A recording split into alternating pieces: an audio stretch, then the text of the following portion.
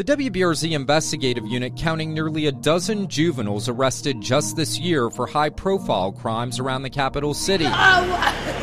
The ones include the ambush at a College Drive apartment complex pool that left a toddler dead. Two teens were arrested in that case. Also this year, a shooting at the IHOP on Segan Lane. A teen among those arrested implicated in that murder.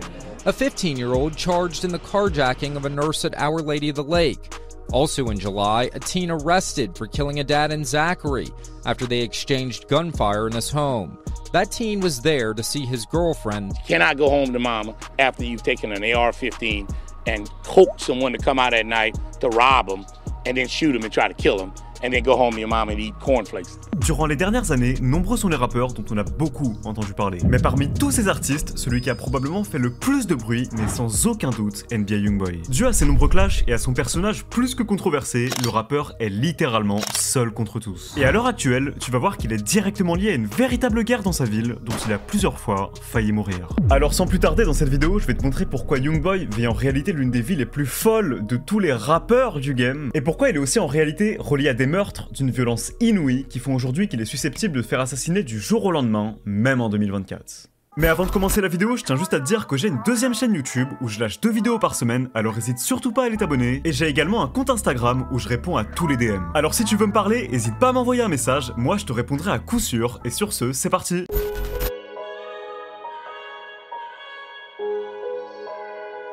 Tout d'abord né en Louisiane, Youngboy de son vrai nom Kentrell Golden est né le 20 octobre 1999 dans la ville de Bâton Rouge, soit au sud-est de la Louisiane. Une ville incroyablement violente où la mort est constamment glorifiée, à tel point qu'en 2021, la ville avait d'ailleurs même enregistré le plus haut taux de meurtre qu'elle ait jamais connu. Alors concrètement, cette ville est vraiment un enfer, hein. faut savoir que la plupart des habitants veulent eux-mêmes s'en échapper, genre même les mecs qui vivent une vie normale. Alors forcément pour un enfant comme Youngboy qui est noir et qui est pauvre et qui en plus de ça a une famille dans un gang, tu vas voir que ça pouvait que mal tourner. Et c'est donc dans ce contexte que Youngboy va connaître une enfance particulièrement difficile, avec des parents qui ne joueront qu'un rôle minime dans sa vie. Puisque son père sera condamné à plus de 55 ans de prison, alors que Youngboy n'avait encore que 4 ans, et sa mère sera quant à elle très violente et le battra régulièrement alors qu'il était encore tout petit. Raison pour laquelle il partira d'ailleurs vivre chez sa grand-mère, qui jouera alors un rôle central dans sa vie, et dont le décès le fera plus tard beaucoup souffrir. My grandma made me feel love. And when she died, I ain't never felt that. Une chose dont il parlera d'ailleurs dans l'un de ses tout premiers morceaux.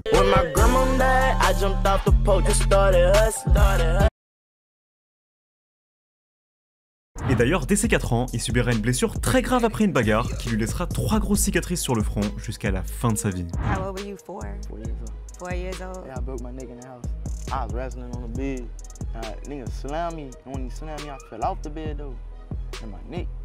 My neck in the house. I was wrestling on the bed. Nigga slammed me. And when he slammed me, I fell off the bed though. And my neck, my chin was behind my shoulder. I couldn't move it. I walked to the front room. I'm screaming for my grandma. And she trying to pull my shit and push it back. Wow. I'm like, no, don't touch it, don't touch it. And when the ambulance came, after that, I know I had went to sleep because I don't remember nothing. But when I woke up, I remember I seen my mama, my grandma, Et ce sera alors après avoir été incarcéré pendant 6 mois en détention pour mineurs dans l'une des pires prisons juvéniles de tous les États-Unis, après que la police l'a arrêté à seulement 15 ans, que Youngboy va décider de reprendre sa vie en main et qui se mettra sérieusement en rap en lâchant plusieurs clips qui comptent tous aujourd'hui des millions de vues. D'ailleurs, pour l'anecdote à cette époque, Youngboy venait littéralement de passer deux mois en cavale et c'est une chose dont il parlait aussi dans l'un de ses tout premiers morceaux. For two months, I was sleeping on his couch. Slipped up and got caught. Just send me up the road. Et il parlera également de sa vie plus en détail dans une excellente interview. I ain't gonna say it was the best thing to happen to me, but shit, it helped me know my purpose. It helped me know what I want to do.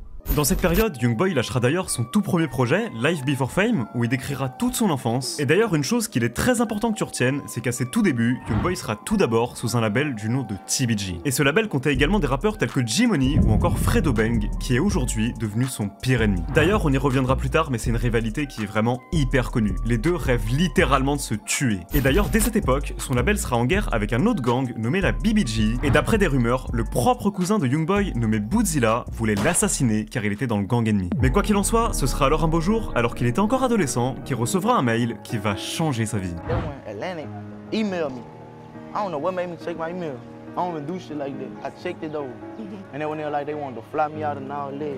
Et concrètement, depuis ce jour, Youngboy a l'une des notoriétés les plus impressionnantes du game que j'ai jamais vu. Son succès ne fait que de grandir depuis plus de 7 ans. Avec des fans notamment pour beaucoup très fascinés par toute la violence qui renvoyait déjà à seulement 15 ans, mais aussi par son talent musical qui est clairement hors norme. Parce que oui, il faut savoir qu'à l'époque où il venait de percer, Youngboy avait encore que 15 ans. Et c'était assez ouf parce qu'on pouvait déjà le voir vivre une vie plus folle que 99% de la population. C'était une dinguerie à l'époque. D'ailleurs, à cet âge-là, Youngboy avait déjà deux enfants, comme on pouvait le voir dans certains de ses clips, et il en parlait lui-même normal dans plusieurs de ses morceaux. Hurt me so deep, but it's okay, I'm on my grind. I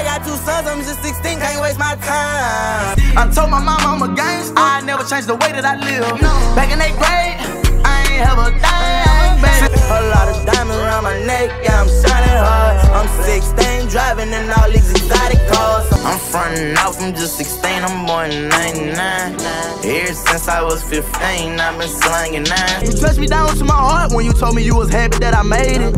I've been caught up sex chasing. Gotta take care of my babies. Never tell, I'ma keep it 100. Stick to that shit till the day I go under. My son recorded that for me. When I die, I'ma leave you my money. Et d'ailleurs, pour que t'aies une idée du type d'endroit où il vient, dis-toi bien que le rappeur Boozy vient lui aussi de la même ville et était à l'époque passé à deux doigts d'être condamné à la peine de mort après avoir passé plus de 5 ans en prison. Et rien que cet homme est probablement lié à des dizaines de meurtres. D'ailleurs, un jour, je pense que je ferai sûrement une vidéo sur lui, mais sache juste que ce mec est tellement dangereux que c'est sûrement le rappeur le plus dangereux de l'industrie. Genre, c'est-à-dire que là, on parle même pas d'un mec comme King Von ou quoi, on parle d'un mec à un autre niveau. C'est quelqu'un qui commandite énormément de meurtres, et genre, même à ce jour, ce mec est réellement responsable de tonnes de meurtres. Il rigole vraiment pas. Il a même tué des mecs de sa propre famille. Donc c'est vraiment pour te dire le niveau du mec. Et concrètement, Bâton Rouge est réellement l'une des villes les plus dangereuses au monde. La criminalité là-bas est incroyablement élevée. Il y a constamment des morts. Et donc, au vu de nombreuses arrestations et d'opérations énormes menées par la police, depuis 2020, Youngboy est en assignation à résidence et vit très loin de Bâton Rouge, à plus de 1500 km, après avoir été impliqué dans des dizaines d'histoires qui ont failli lui coûter la vie. Et donc, Dieu a ses raisons, depuis ces dernières années, le rappeur le plus recherché de tout l'état de la Louisiane est interdit de sortir de chez lui et vit calmement avec sa famille dans l'Utah, dans l'une des villas les plus luxueuses au monde, à l'autre bout du pays. Une villa où il enregistre une tonne de musique et fait d'ailleurs plein de clips dans sa propre maison, étant donné que la police l'a interdit de sortir de chez lui. Mais en revanche, pendant que Youngboy vit tranquillement loin de la violence, les fusillades à bâton rouge continuent sans cesse d'augmenter et ses proches qui sont eux encore dans la rue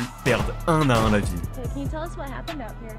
Officers arrived and found three victims, two of which were transported to a hospital.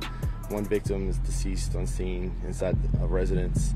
Our detectives are uh, investigating a crime scene out here. We are working to get you more information about two overnight shootings. Uh, EMS telling us that one person is dead and uh, a couple others hurt after this shooting last night. Right now, no word on who the victims are or any potential leads the police may have about a shooter. Et comme si c'était pas assez, la police a même connu un scandale après que plusieurs affaires de corruption soient devenues publiques. One resigned yesterday, the other's employment is on the line, but both are facing serious felony charges. You're looking at exclusive video moments after Baton Rouge police officer Richmond Barrow was arrested. Along with his colleague, police officer Wade Hill, our sources say Barrow offered $6,000 to an alleged criminal in exchange for information pertaining to a drug investigation. Barrow offered to leak the name of a confidential informant in exchange for that money. Barrow was not the only one arrested Thursday. This is Wade Hill, that officer, Donald Steele, accused of kidnapping and malfeasance. Étant alors même accusé d'avoir séquestré et torturé des suspects dans un garage secret. Hours after lead investigator Scotty Hunter and the WFBI team exposed allegations of police misconduct in a secretive garage called the Brave Cave. Et comme tu t'en doutes, n'importe qui rêverait de s'échapper des rues de Bâton Rouge. Le train de vie là-bas est juste affreux, il y a que de la souffrance. Et malheureusement, malgré l'argent, la célébrité ou même toute la réussite de Youngboy, bah tous ceux qui lui sont affiliés ont encore à ce jour chacun leur tête mise à prix. Et plus le temps passe, plus de nouveaux proches de Youngboy meurent chaque année dans la rue. Ils sont tous pris pour cible. Et parmi le peu de rappeurs qui sont assez talentueux pour faire de l'argent et réussir dans la musique, bah la plupart se font souvent tuer dans la rue avant même qu'ils aient la chance d'en sortir. Comme c'était notamment le cas pour un rappeur de 19 ans qui était sur le point de devenir une vraie star du nom de Troublida qui est mort tué par balle en 2022. Une mort alors tragique qui tu vas le voir est reliée à des événements qui avaient déjà eu lieu en 2021. Année durant laquelle une véritable guerre a éclaté entre deux gangs responsables de dizaines de meurtres. Alors aujourd'hui je vais te montrer dans cette vidéo pourquoi et à quel point Youngboy est actuellement en grand danger et comment il est en réalité relié à l'une des guerres les plus meurtrières de tout l'état de la Louisiane. Malgré toute l'attention que la ville a attirée depuis l'énorme succès de Youngboy, bah faut savoir que la violence entre les gangs à bâton rouge était déjà présente bien avant lui. Et ces dernières années, les États-Unis l'ont même classé comme faisant partie des villes les plus dangereuses de tout le pays. Mais avant tout ça, il faut déjà que je t'explique pourquoi il y a autant de meurtres et de gangs aux États-Unis. Parce que ça me paraît quand même important que tu vois à quel point en vérité tout ça c'est vraiment pas là par hasard. Parce qu'en faisant des vidéos sur des gars comme King Von ou même Lil Durk par exemple, je suis conscient qu'en fait la plupart des gens qui voient mes vidéos se disent qu'en fait ces gars-là c'est juste des fous et qu'en réalité c'est juste des mecs qui ont des problèmes dans la tête qu'il y a juste pas d'autre explication. Et au final en fait on a juste l'impression qu'ils sont complètement tarés. Mais justement ça me paraît très important en fait de t'expliquer pourquoi tout ça euh, c'est beaucoup plus compliqué que ça en a l'air en fait pour ces mecs. Et pourquoi je pense même que dans leur société c'est même calculé en réalité. Car pour que tu comprennes un peu, faut vraiment que tu saches que les raisons qui ont mené à ce qui est toute cette violence et tous ces gangs sont nombreuses et complexes. Car ça part déjà de tous les problèmes générationnels que l'esclavage qui était extrêmement présent en Louisiane a créé, jusqu'à l'énorme racisme envers les noirs qui est encore à ce jour hyper ancré là-bas. Et je te dis tout ça, et c'est sans compter qu'à l'heure actuelle, la Louisiane est considérée comme étant le troisième état le plus pauvre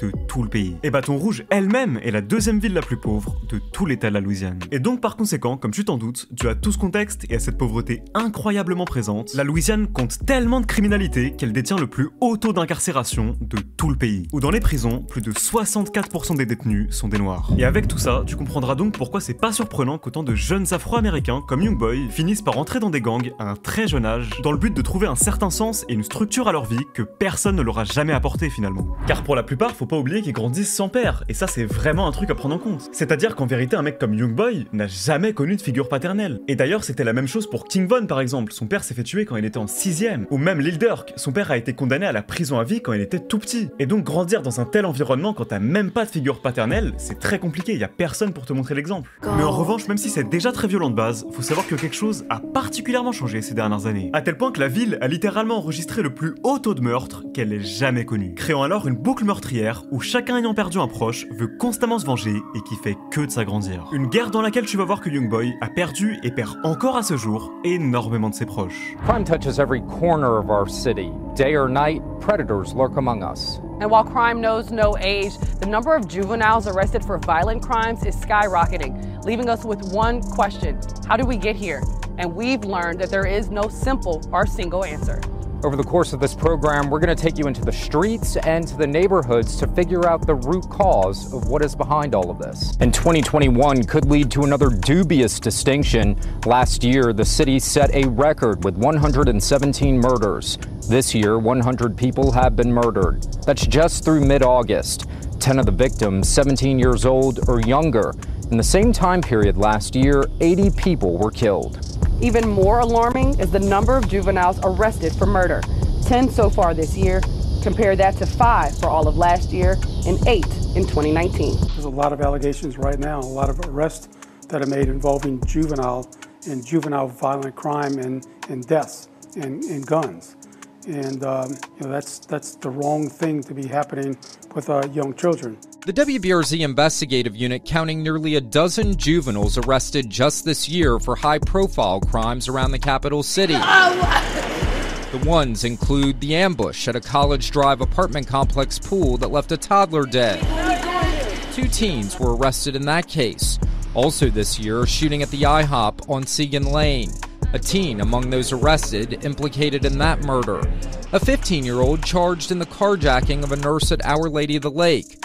Also in July, a teen arrested for killing a dad and Zachary after they exchanged gunfire in his home. That teen was there to see his girlfriend. Can I go home to mama after you've taken an AR 15 and coax someone to come out at night to rob them and then shoot them and try to kill them. And then go home to your mom and eat cornflakes. Et c'est donc dans ce dangereux environnement qu'un jeune rappeur du nom de Troublida va un jour commencer à se faire connaître à bâton rouge avec une histoire qui va s'avérer terriblement tragique.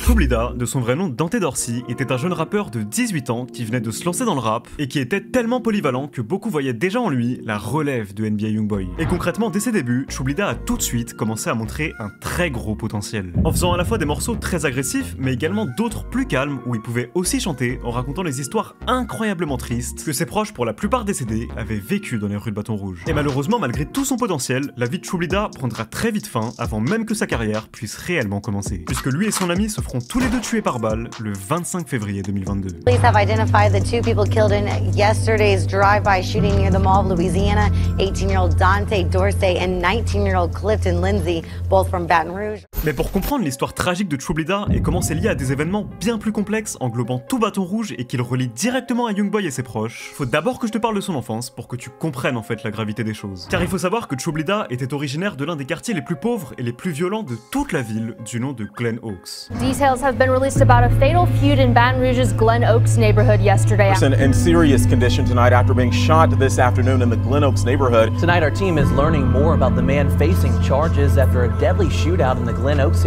D'ailleurs, dans ce quartier vivait aussi un rappeur du nom de J-Money, qui était lui-même l'un des meilleurs potes du pire ennemi de Youngboy, qui est donc encore une fois Fredo Bang. Et ces deux-là pouvaient déjà être aperçus très tôt dans des vidéos au studio, lorsque Trublida n'était encore qu'un adolescent. Et dans cette même vidéo, on pouvait aussi voir un homme nommé Larry, qui appartient à un groupe de rap nommé la Jungle Music, qui a joué un rôle important dans la vie de Trublida. Et le truc, c'est que malgré le fait qu'il était très proche de Trublida ou encore de J-Money, bah Larry était aussi très proche du meilleur ami d'NBA Youngboy, qui se nomme OG33. Et si je te dis tout ça, c'est vraiment pour que tu comprennes comment ils étaient tous reliés d'une certaine manière en fait, avant que cette guerre les divise. Et pourquoi en réalité un seul meurtre, ça peut foutre une merde monumentale en fait? Car en 2014, alors que Trublida n'était encore qu'un enfant, un événement tragique était sur le point de se produire dans sa vie. Lorsque le 28 mars, durant une fête d'anniversaire, un adolescent du nom de Williams va subitement ouvrir le feu au hasard sur toute la foule, finissant alors par tuer trois personnes et en blesser gravement une. Et parmi les victimes, l'une sera le grand frère de Trublida, du nom de Moon. Or, c'était pas n'importe qui, puisqu'en plus de ça, il était très proche avec Fredo Bang, qui est encore une fois le pire ennemi de Youngboy. Et durant son procès, lorsqu'il sera jugé, William ira plus tard déclarer que les trois personnes qu'il avait tuées n'étaient à la base même pas les gens pour qui il était venu, et qu'ironiquement, la seule personne qui avait survécu au bal était littéralement celui qu'il était venu tuer. Mais néanmoins, suite à cet événement, cette fusillade entraînera vite des tensions entre plusieurs quartiers, après qu'il aura été révélé que William faisait partie d'un gang nommé les X Frame. Un gang qui est littéralement situé à seulement 10 minutes du quartier de Glen Oaks. Et d'ailleurs, un rappeur du nom de Lil B, faisant partie de son gang, ira à plusieurs reprises rendre hommage à William dans ses morceaux, et des témoins iront même jusqu'à déclarer qu'ils avaient vu de leurs propres yeux William être impliqué dans plusieurs altercations quelques jours avant, ayant directement entraîné cette fusillade dans le quartier même de Glen Oaks. Et d'ailleurs, il sera également révélé que cette fête d'anniversaire avait en réalité eu lieu pour Fredo Bang, qui ira même jusqu'à se confier sur ce qu'il avait ressenti après que l'un de ses meilleurs amis soit mort la nuit de son anniversaire. He got killed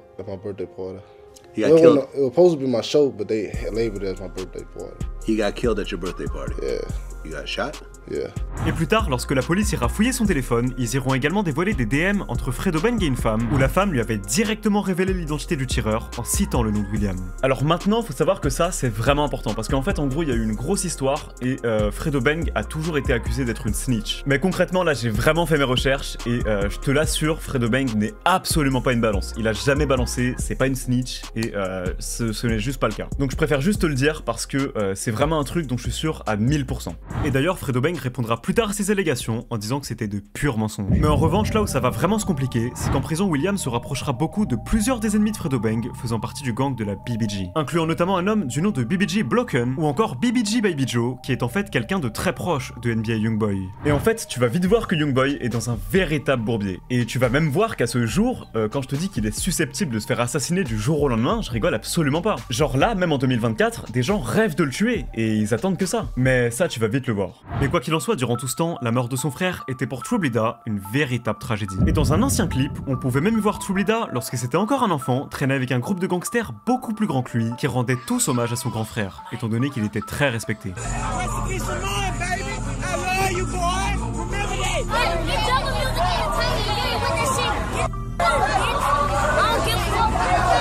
Et la mort de son frère va alors pousser Trublida à prendre la musique très au sérieux, à tel point que lui et ses potes iront même jusqu'à créer un crew nommé Menway en son hommage. Bro, when our cousin died at 15, so it's like that's why we came up with the Manway shit. That was that was his name, man. That's why he started rapping.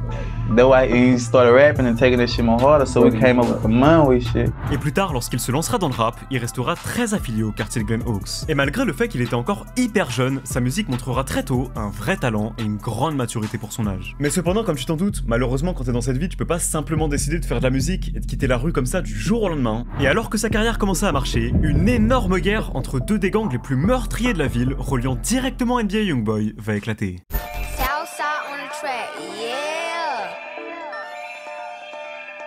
Pour Troublida, voir son grand frère se faire tuer aussi jeune ne va pas simplement le motiver à faire de la musique, mais ça va surtout lui donner soif de vengeance et le mener à sérieusement s'impliquer dans la rue. Et tout ça mènera alors à ce que Troublida ainsi que ses proches, tels que son grand frère connu sous le nom de Koblida, se mettent à connaître de nombreuses tragédies, auxquelles NBA Youngboy va d'ailleurs très vite se retrouver mêlé. Shit, my brother, my little brother. Brother, first my big brother, my big brother money, he had passed away 2014. Then my little brother just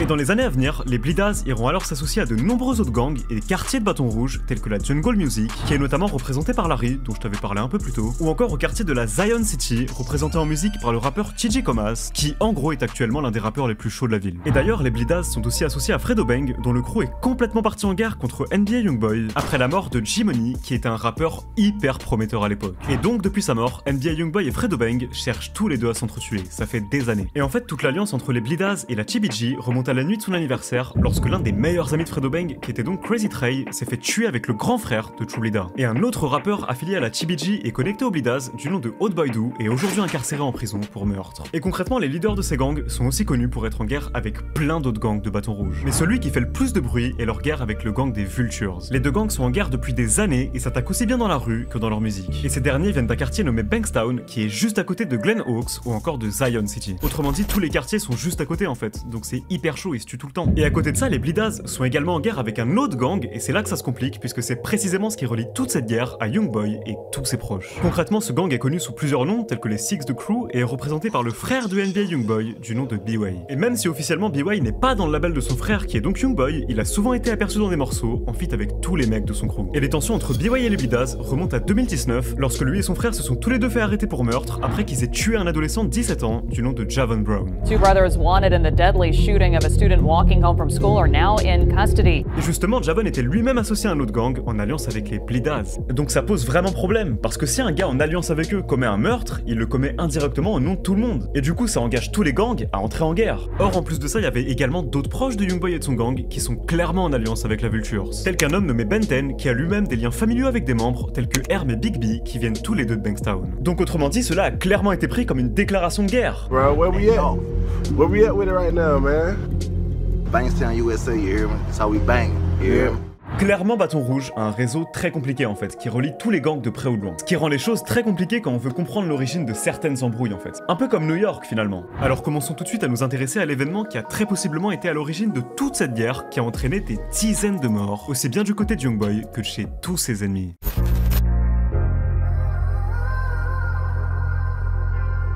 Alors pour commencer, même s'il y a pas mal de théories, c'est pas vraiment clair en fait pourquoi ou comment la guerre entre les Blidas et les Vultures a éclaté. Mais ce qu'on sait c'est qu'en 2021, soit durant l'année la plus meurtrière que Bâton Rouge ait jamais connue, beaucoup de fusillades ont eu lieu entre ces deux crews qui finiront notamment par causer la mort de True Blida à seulement 18 ans. Multiple people have been shot near the Mall of Louisiana this afternoon. Two people are dead and two others are at the hospital right now getting treatment. Et le 23 avril 2021, un membre des Vultures nommé Ziploc venait tout juste de célébrer son anniversaire lorsqu'il s'est fait tirer dessus par un homme qui n'a jamais pu être identifié. Well, a man has died after an early morning shooting on Plank Road. Sheriff's deputies say Aaron Batiste was rushed to the hospital around 3 this morning and later died from his injury. D'ailleurs, Ziploc avait lui aussi des enfants et sa mort a laissé sa famille complètement dévastée, se demandant quand est-ce que toute la violence dans leur ville s'arrêterait. Et après ça, des membres des Vultures iront alors lui rendre hommage sur les réseaux, montrant alors tous leur envie de le venger. Et quelque temps après, la ville va alors couler sous une tonne de fusillades qui auront toutes lieu durant le mois d'octobre. Car le 8 octobre 2021, un homme du nom de Jimo se fera tirer dessus juste devant sa maison lorsqu'un gars qui l'attendait dans une voiture va le cribler de balles. Et le pire, c'est qu'au final, cet homme n'était même pas un membre de gang, mais un militaire de l'armée. Mais en revanche, Jimo était tout de même le grand frère d'un homme nommé VA et d'un autre nommé Jubug, qui sont deux membres hyper connus des Vultures. C'est vraiment deux mecs qu'il faut pas chercher dans la rue. Et la police révélera plus tard que Jimo n'était probablement pas la cible de cette fusillade, mais qu'il a juste pas eu de chance. Et malheureusement, le 5 mai 2022, presque 7 mois après la fusillade, Jimo finira par succomber de ses blessures à l'hôpital et perdra la vie.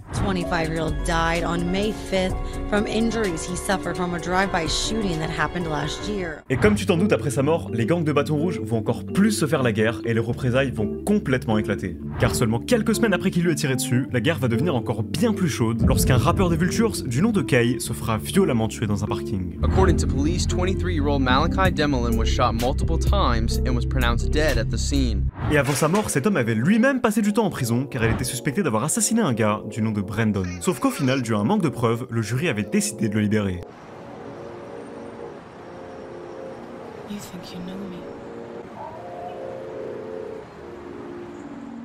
Et après sa mort, les Blidas se mettront régulièrement à le clasher et seulement un jour après son décès, un autre homme se fera tuer. Car le 28 octobre 2021, aux environs de 10h du matin, un homme se fera tuer par balle dans le côté est de Bâton Rouge. Well, just a few hours ago, police say they responded to a shooting on West Catalpa Drive where they say one male victim was shot and killed. Ici, la victime était en réalité un homme du nom de Jamonte Davis. Un gars qui était lui aussi un rappeur et qui était dans un gang affilié aux Blidas. Et apparemment, il se serait clairement fait tuer en réponse au meurtre de Kay. Et à ce point, même si Youngboy et son gang n'étaient pas encore vraiment impliqués dans la guerre, tout ça était clairement sur le point de changer. Car le 2 décembre 2021, son bras droit du nom de Benten et son cousin Marvin seront tous les deux pris pour cible alors qu'ils étaient sur la route. Et de là, son cousin finira alors par mourir et la police en jugera immédiatement que c'était une vengeance. The vehicle had been shot multiple times, and inside the vehicle we located a male that had been uh, deceased from gunshot wounds. That man was found in the passenger side of the truck. Authorities say the driver was also taken to the hospital with gunshot wounds. He's expected to survive. La mort de Marvin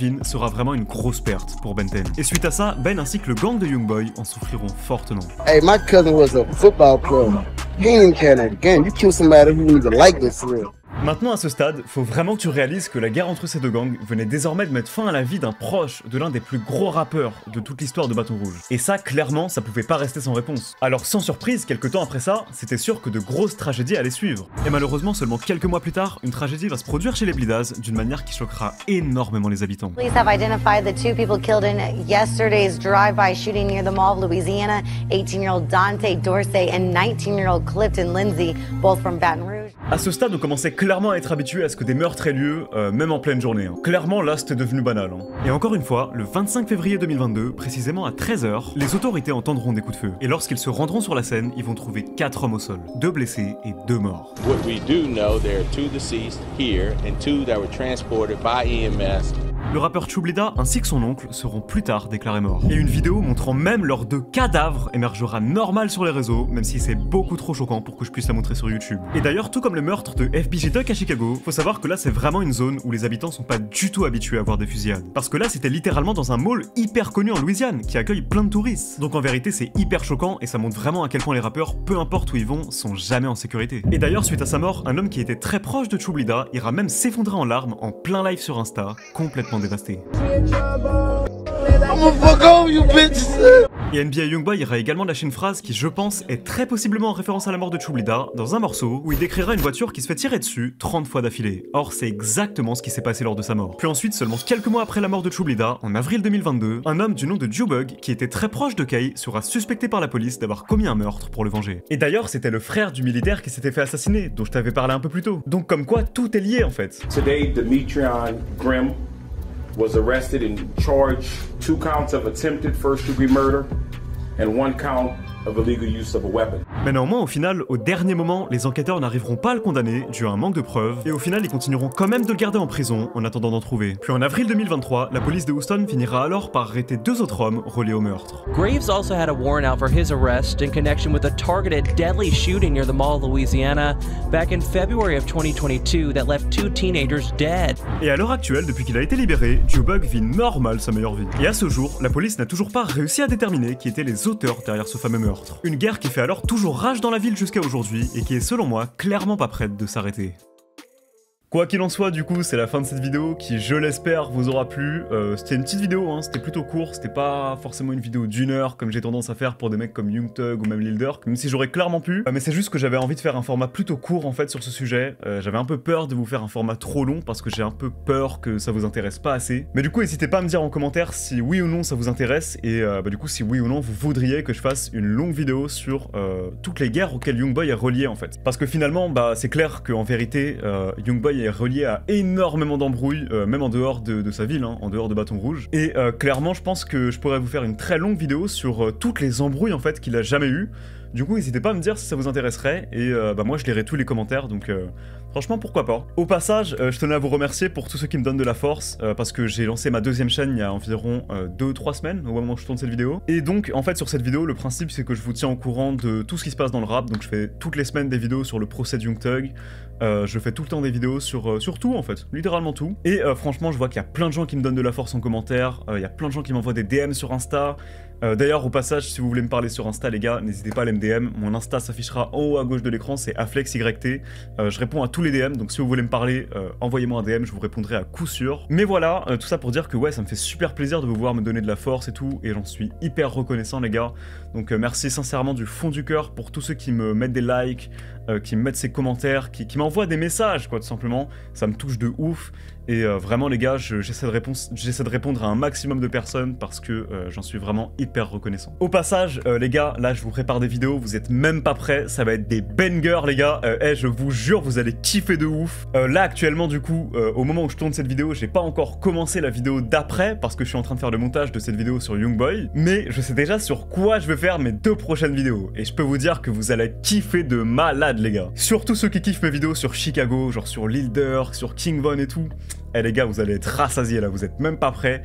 Ça veut dire les gars, eh, mettez les notifs sur la chaîne, je vous jure, vous êtes pas prêts là. Donc en soi, je vais pas vous spoil parce que j'ai un peu peur en fait de faire des annonces pour mes vidéos parce que euh, j'ai peur qu'une certaine chaîne YouTube me, vole mon idée en fait et fasse exprès sortir une vidéo en même temps que moi pour me pomper mes vues. Parce que euh, clairement, ça m'est arrivé pour la vidéo sur Lil Durk, ça m'est arrivé pour la vidéo sur King Von. Euh, Vas-y, c'est bon, ça, me fait plus rire à un moment donné, ça me casse les couilles. Surtout que moi en fait, vous le voyez peut-être pas, mais je passe vraiment des dizaines d'heures en fait sur mes vidéos. Genre c'est interminable à chaque fois. Et en fait, ce que la chaîne question fait, c'est que à chaque fois en fait, euh, elle fait exprès de préparer des vidéos minuscules, mais sur exactement le même sujet que moi, pour ensuite attendre que moi je poste ma vidéo d'une heure et ensuite euh, la poster genre un ou deux jours après pour me pomper euh, toutes mes vues quoi. Et ça en fait c'est hyper frustrant parce que moi du coup ça me tue en fait, genre c'est à dire que je passe tellement de d'heures de travail en fait sur mes vidéos qu'à la fin quand je vois que ça flop juste pour ça, bah c'est super décevant en fait. Et du coup, c'est pour ça qu'au final, en fait, je peux plus vraiment vous parler des vidéos que je suis en train de faire. euh, J'ose plus vraiment vous teaser les vidéos que je fais, vous, faire des annonces en fait. Alors que je suis sûr que vous kifferiez de ouf, hein, genre vous seriez grave content en fait de savoir sur qui je fais mes vidéos là actuellement. Mais euh, à cause de cette chaîne en question, j'ose plus du tout parce que j'ai peur que si je tease sur qui je la fais, et ben euh, la chaîne fasse exprès de faire une vidéo minuscule qui lui prendra deux secondes et qu'elle la publie exactement genre un ou deux jours après la mienne, juste pour pomper mes vues. Et euh, ça, c'est tellement frustrant en fait, genre euh, quand tu passes des dizaines d'heures sur une vidéo, je, vous jure, c'est c'est horrible, genre ça fout trop le seum. Même si évidemment après en soi, je les fais pas que pour les vues. Je veux dire, moi, c'est une fierté personnelle, c'est pour la culture. Euh, J'aime trop faire mes vidéos, hein, bien sûr. Je, suis trop content quand je vois vos commentaires, quand vous êtes content et tout. Mais après, évidemment, je vais pas vous mentir, les vues c'est super important aussi. Et voir que cette chaîne-là fait exprès de me pomper mes vues, alors que euh, bah moi ça me prend des dizaines d'heures, alors que elle ça va peut-être prendre, je sais pas, quelques heures. C'est même pas lui en fait le mec en question qui fait ses vidéos. hein. C'est un monteur, c'est un mec qui écrit ses vidéos à sa place. Lui il fait rien, tout est automatisé en fait. Et du coup justement bah c'est hyper frustrant pour moi et euh, c'est juste pour ça que j'ose plus euh, vous teaser et vous dire sur qui je fais mes vidéos. Mais tout ce que je peux vous dire c'est que je mets vraiment toute mon âme dedans et j'espère sincèrement, enfin c'est même pas j'espère, je sais que ça va vous plaire les gars, je sais que vous allez kiffer de ouf et il y a même pas de doute là-dedans. Donc voilà, j'essaie de, j'essaierai vraiment de vous faire un truc euh, au sommet de mon art entre guillemets, et euh, je ferai vraiment tout pour que vous aimiez un maximum et euh, de façon pour que ces vidéos soient inoubliables en fait finalement. Mais je pense sincèrement que les deux vidéos qui arrivent là seront dans le top 3 des meilleures vidéos de ma chaîne. Donc voilà, c'est tout ce que je peux vous dire. Quoi qu'il en soit, sur ce moi je vais vous laisser là. C'était Aflex. Merci sincèrement à tous ceux qui auront regardé cette vidéo jusqu'au bout. Ça, ça compte vraiment pour moi. Encore une fois, n'hésitez pas à aller vous abonner à ma deuxième chaîne qui est Aflex V2. Euh, je vous la mettrai en description. Et sur ce, moi je vous dis bye. C'était Aflex et à très bientôt pour de nouvelles vidéos qui, euh, je pense, vous allez énormément kiffer les gars. Vous êtes pas prêts. Ciao